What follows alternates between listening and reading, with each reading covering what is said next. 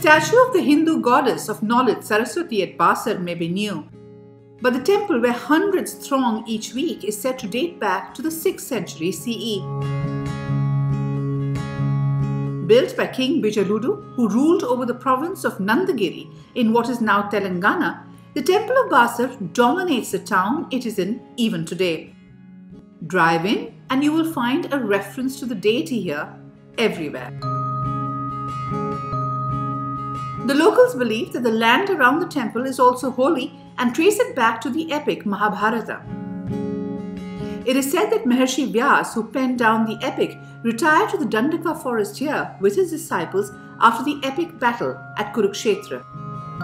Here he meditated, and the goddess Saraswati eventually appeared before him and ordered the sage to place three handfuls of sand at three places every day.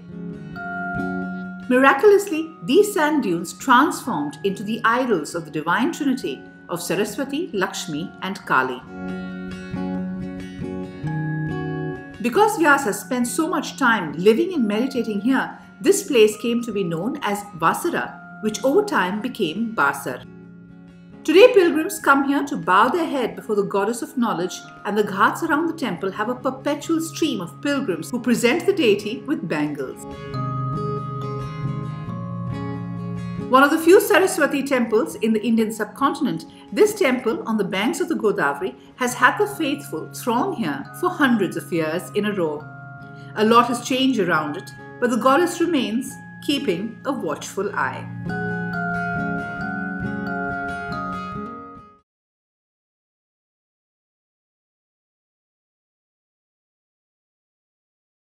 Made with world-class technology, steel the nation trusts. SAIL Steel, India Steel, Steel Authority of India Limited.